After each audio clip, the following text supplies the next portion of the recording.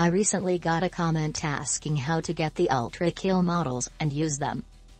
So here is a tutorial. First, go to the Source Filmmaker workshop, and look up ULTRAKILL in the search bar. I'm going to click on Husks. Now, if you only wanted to animate in Source Filmmaker, the tutorial ends here. But, if you want to use them in Blender, like I do, then stay with me.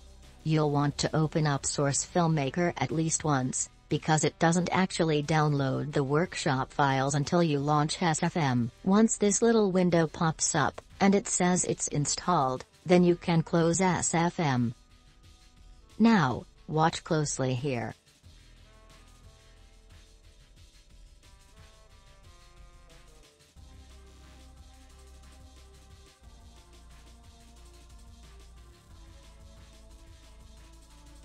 Now you've located your files.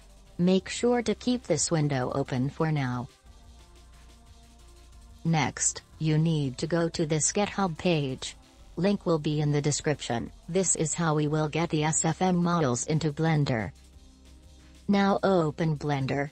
Follow these steps.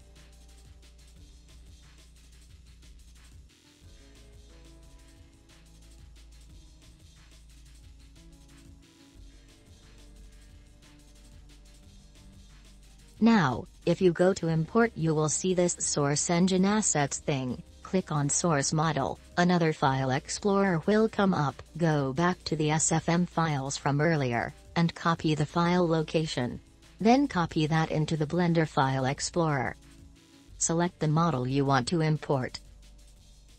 Now you're done. These ULTRAKILL characters are now your puppets. You can make them do anything. Thanks for watching. If you have any questions, please leave them in the comments.